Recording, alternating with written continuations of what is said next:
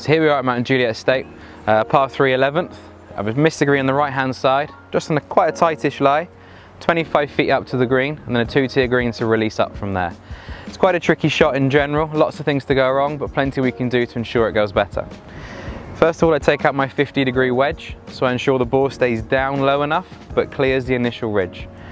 From here, I take everything serious in regards to my stance. I put the ball just to the back of center, I lean forward 70% this time on my front side and I keep the handle in front of the club head at all times at address.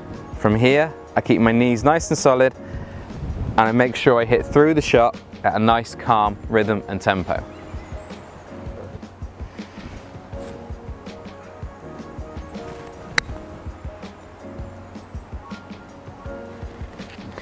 As you can see, slight divot, the ball comes out much lower than previous shots that we got high and airborne and it will release up the hill to a couple of feet from the hole.